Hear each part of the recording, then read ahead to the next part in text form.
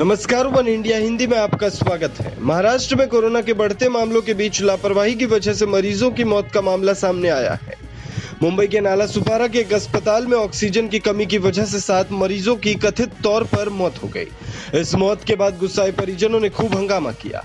हालाँकि अस्पताल के एक डॉक्टर ने कहा कि इस अस्पताल में सिर्फ़ गंभीर रोग से पीड़ित मरीजों को एडमिट किया जाता है। जिन मरीजों की मौत हुई है, वो उम्र या किसी और बीमारी से पीड़ित थे। यानी ऑक्सीजन की कमी से मौत के दावे को अस्पताल प्रबंधन ने खारिज कर दिया। महाराष्ट्र में करीब 12 ज़िले ऐसे हैं जहाँ हर अस्पताल में बेड्स फुल है। राज्य में 75 परसेंट आईसीयू बेड्स भी फुल है। कोरोना के मामले इस रफ्तार से बढ़ते रहे तो महाराष्ट्र में बुरा हाल हो जाएगा। महाराष्ट्र के कई शहरों में अस्पताल में बेड की भयंकर कमी हो चुकी है। मुंबई के बेहद महँगे अस्पतालों में भी कोरोना मरीज़ भरे हुए हैं। आलम यह है कि मरीजों को किसी तरह बचाने की कोशिश की जा रही है। इसी कड़ी में महाराष्ट्र के सतारा ज़िले में एक 88 साल की बुज़ुर्ग महिला को जो कि कोरोना पेशेंट थी, उसे ऑटो में बिठाकर ऑक्सीजन दिया गया।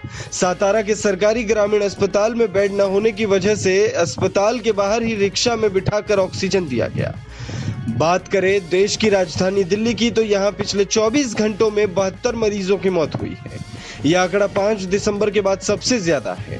5 दिसंबर को 77 मरीजों की मौत हुई थी। कोरोना मामलों में उछाल के साथ ही दिल्ली में होम आइसोलेशन में रहने वाले 17,000 लोगों के बीच ऑक्सीजन सिलेंडर और कॉन्सेंट्रेटर्स की मांग तीन गुना बढ़ गई है। इस खबर में फ़िलहाल इतना ही। तमाम अपडेट्स के लिए बने रहिए वन इंडिया हिंदी के साथ।